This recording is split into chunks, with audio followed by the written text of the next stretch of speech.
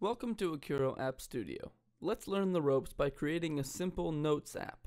The app itself will be made up of two main pages, one where a user can add new notes, and a home page where all added notes will be listed out. Let's get started by clicking the Add New App button. Go ahead and name your app Notes or something similar. Let's choose the With Top menu template and then click Create. Notice your app is now shown in the My Apps list. Click on it once to open it up in the Aquro App Studio and begin working on it. By default, you'll load into your app's current homepage, but we want to add a new page. So go ahead and click the Add button in the top left corner of your screen, and then select Page. When prompted, name your page Add Note. Choose the database form template, which quickly generates a data form you can customize, and finally click Create. To edit your form and configure it, go ahead and click on the pencil icon on your form component in the layout area. The first thing we'll need to do to get our form functional is to create a data model. Click Create New Data Model, type in the name Note, and then click Save. You'll need to specify which fields and which types of fields will comprise your data model, so click Add New Field, name it Text since your notes will be made up of text, and click Save. From the type of data, go ahead and select Text Area from the dropdown. This will specify a larger text box so that longer notes can be more easily added. Next, we need to name the collection of data collected by this form. Data collections are a way to organize groupings of data adhering to the same data model. We'll call it Notes as it will be a collection of the user's stored notes, then click Save.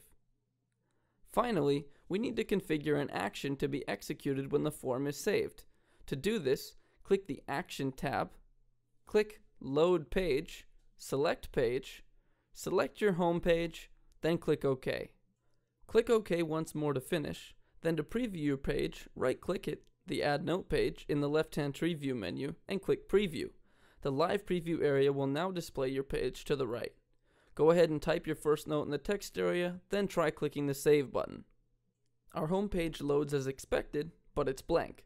Let's click the orange Save button to save any unsaved changes on our current page, then in the tree view menu, click your home page to start editing it.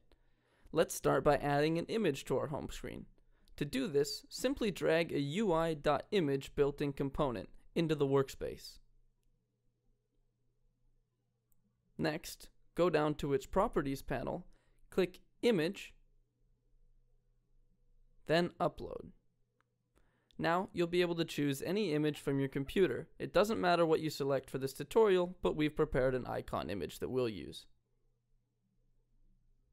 Now the image is in your project library, go ahead and select it and hit OK. Feel free to resize and reposition it as you see fit. That looks about right. Next, we'll want to add a list view component, which lets us easily grab data from a previously saved data collection and display it in a list. Click the list view component and drag it to the workspace.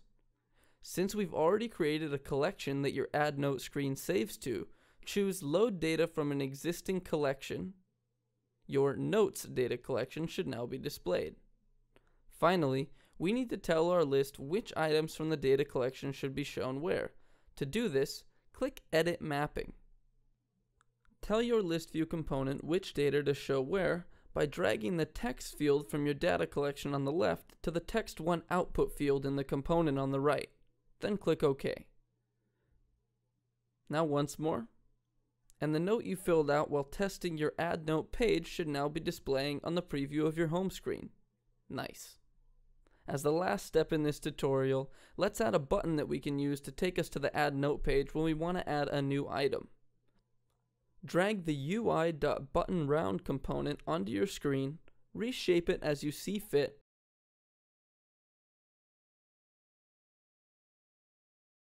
then click to edit the icon from its Properties panel in the bottom left. You can add any icon you like to your button, but we'll search our library for an add icon and place a plus sign on our button by selecting it and then pressing OK. Now, let's tell our button to load our add note page when clicked. This will be your first exposure to one of the most powerful and efficient tools in Aquro, visual coding. Click on the edit icon next to the click event in your button's properties, and the visual coding window will open. From this screen, you can quickly chain together over 100 pre-made JavaScript coding blocks, each with a unique function, together into a visual script. Later, you can also write your own scripts and add them as choosable blocks in the visual coder. Let's grab the page.load block from the page folder on the left, drag it to your workspace. Then click the start node once, and click again on the page load block to connect the two. A window will appear that lets you specify which page from your app will be loaded when this block is executed in your script.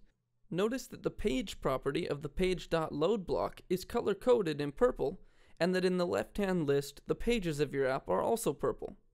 Drag the Add Note page from the left list to the page property of the page.load block and click OK. Since that's all we need our visual script to do, click OK again to exit visual coding. Hey, you've made it to the end of this tutorial. Go ahead and save your homepage, then try clicking your Add button in the live preview, adding a second note, and clicking Save. You should be brought back to your homepage again with both items now listed. Feel free to continue working on your tutorial app or click the menu icon in the very top left corner of your screen to return to the App Manager and create your own brand new app project, building on the skills you learned in this tutorial. Of course, you can always learn more by checking out our growing knowledge base at support.aquro.com. We can't wait to see what you create.